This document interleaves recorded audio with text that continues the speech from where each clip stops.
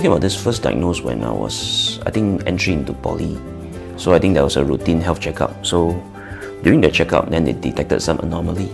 So they wanted me to do a follow-up uh, at, at the hospital itself. Lah. So after the follow-up, it was detected that I actually had a polycystic kidney.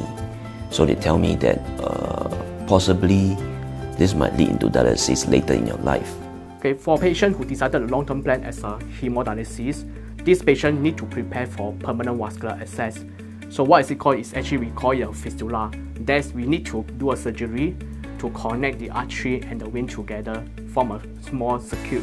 And this circuit is used for the nurses to draw the blood when they put in the needle and connect to the machine. And there's a filter in the machine to clean the blood.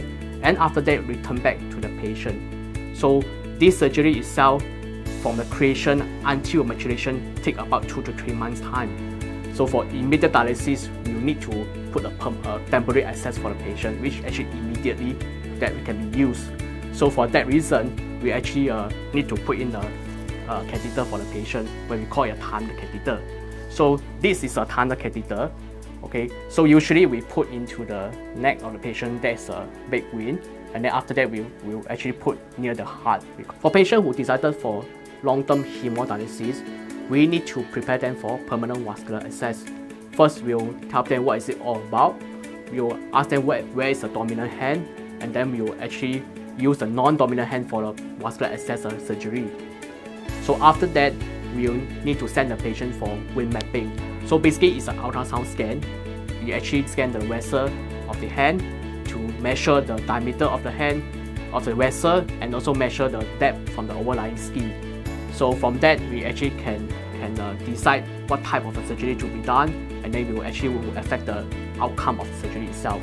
So after that, then we'll refer the patient to a vascular surgeon. So the surgeon will discuss with the patient regarding the vascular access again. We'll discuss with them the risk and complication and what type of surgery. And after that, they'll fix the date and for the uh, surgery for the patient. So when I was told that I need to go do dialysis, so I realized there will be a, will be a huge change to my lifestyle. Yeah, so I think one important aspect of this will actually be the diet itself. When the kidneys are failing, you might require to do hemodialysis. And when you're on hemodialysis, you need to follow certain diet. It's what we call the hemodialysis diet.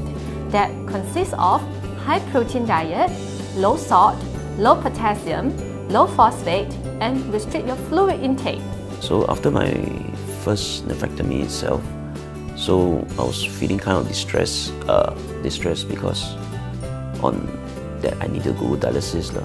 So the mindset wasn't very good. La. Sometimes prone to a bit, be a bit moody. Then I think light of this, uh, NUH actually sent in a medical social worker to actually come and see me. Often patients are scared, anxious and filled with a sense of helplessness we go in and speak with them and their families to provide counseling support to help them cope with these emotions. We also assess the families and patients' resources to manage the cost of dialysis.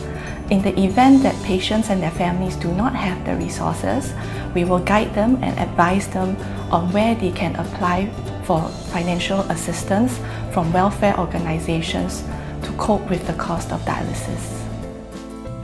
There are two types of uh, vascular access surgery. The first one is arteriovenous fistula, uh, whereby we connect the patient's own vein from the artery to the vein, and then the vein will dilate it up. And after a while, it will be ready for access.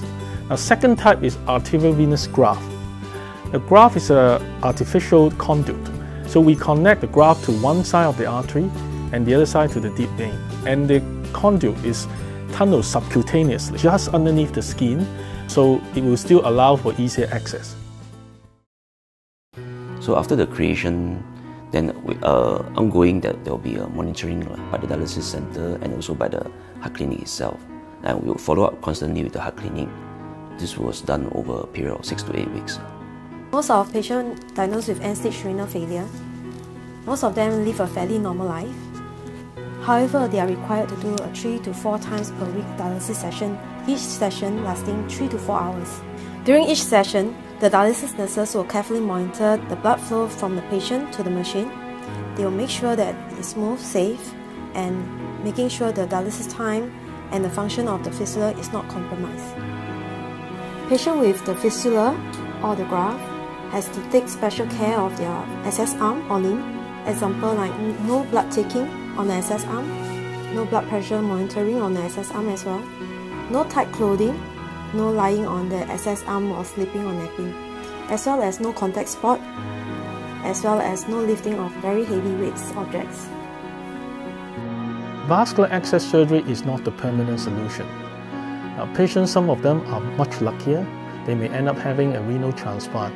Then they can get rid of the vascular access surgery altogether. However, the vascular access surgery itself, sometimes you have to be repeatedly doing more surgery in the future.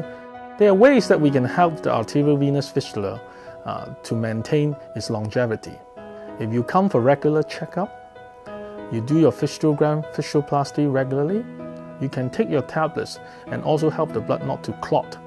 Therefore, all these little things can help the patient to use the fistula for much longer duration.